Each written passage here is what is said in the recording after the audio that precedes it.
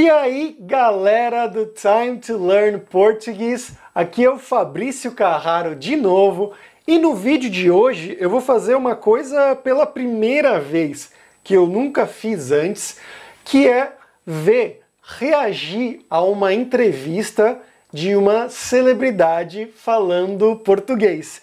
E a celebridade de hoje, essa pessoa tão famosa, é a Shakira, que se você não sabe, ela é colombiana e ela fala português muito bem. Eu lembro que quando eu era criança, ela sempre estava na televisão do Brasil com as músicas cantando, eu adorava ela, ainda adoro. E eu sei que ela fala muitas línguas também, né? O italiano, o catalão, inclusive, que ela mora aqui em Barcelona, assim como eu. Mas bom, vamos lá para esse vídeo. Hi Shakira, how are you? Good, thank you. How are you doing? I'm fine. Shakira, can you speak a little Portuguese today? Uh, sim, posso. Pode. Sim, eu posso falar. Ela tá feliz até. Posso fazer as perguntas em português hoje, Pode, então? pode. Oh, legal. Legal. A coisa mais legal em Zootopia é que todo mundo ama você e Gazelle é a maior diva de lá. É, você já se sentiu muito diva, que nem a, a Gazelle, durante a sua carreira? Eu não, eu não, eu não sinto uma, não, nunca senti que eu era uma, uma diva, né? É simplesmente, simplesmente uma artista que tenta compartilhar a sua música com seus fãs. Nossa, muito bom. O português dela ainda é muito bom, é fluente. E se você notar, ela falou exatamente como um brasileiro duas vezes e uma vez ela falou um pouco diferente. Ela falou diva, né? Esse D, se tem uma letra I depois, a gente pronuncia como D, ou um som de I também. E ela falou também simplesmente, perfeito, perfeito. Mas depois ela falou compartilhar, com esse T mais duro, que não é um problema. Muitos lugares do Brasil também falam assim. É, em Portugal eles falam assim, mas é alguma coisa da confusão, né? De todas essas línguas, tantas línguas parecidas, mas tá perfeito até agora. Você teve alguma, algum papel na escolha da personagem dela ser uma gazela? Ou você deu alguma dica, assim, ah, eu quero que ela seja isso? Sim, eu definitivamente eu participei na, na criação do personagem, da personagem. Eh, ela era um pouquinho magra para meu gosto. Essa frase é perfeita, uma frase que um brasileiro diz- diria sem problema nenhum. É, ela era um pouquinho magra pro meu gosto. Quando alguma coisa é muito ou é muito pouco, você pode falar blá blá blá, é um pouco demais ou é um pouco de menos pro meu gosto. Então eu aí falei com os diretores para para colocar um pouquinho, para pôr mais um pouquinho de quadrão Ah. para ela.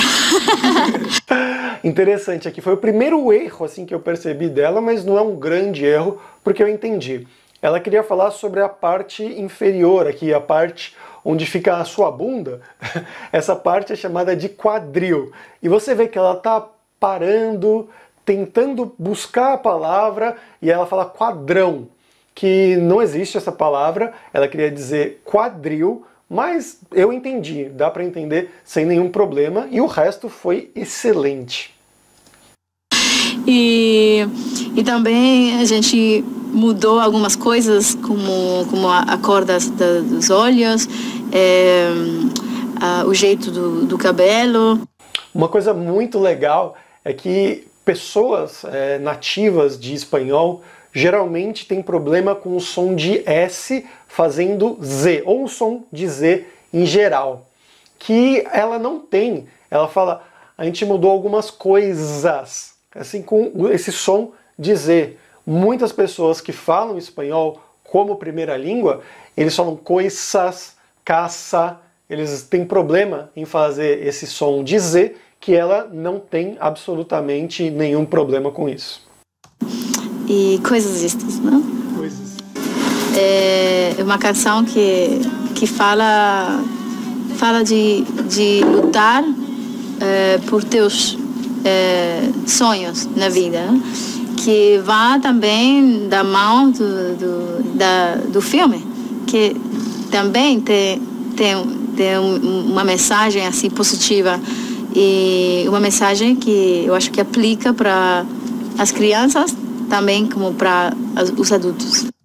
Aqui nesse trecho eu acho que ela estava um pouco mais confusa, ela dá umas, uh, uh, umas gaguejadas, mas também é completamente normal. Ela fala tantas línguas, especialmente línguas latinas, né? o italiano, o catalão, o espanhol, francês. Então é normal você confundir. Às vezes você não sabe se uma palavra é do espanhol, ou se é do português, ou se é do italiano. Isso é completamente normal. Acontece comigo também o tempo inteiro. E só uma coisa, um trecho aqui que ela falou, deixa eu voltar até é uma mensagem assim positiva e uma mensagem que eu acho que aplica para as crianças também como para os adultos. Uma mensagem que aplica para as crianças e também para os adultos. Sou um pouco estranho você dizer assim. É, seria melhor se ela usasse o verbo aplicar-se, a forma reflexiva. Então, uma mensagem que se aplica ou então usar algum adjetivo, por exemplo, uma mensagem que é aplicável, uma, mensagem que é aplicada. Mas dá para entender sem problema nenhum. É, é só um pequeno errinho, porque ela está falando muito, muito bem, realmente. Sim, e além da música, você tem uma fala muito importante sobre igualdade social. É, você se vê bastante trabalhando em cima disso também na sua carreira?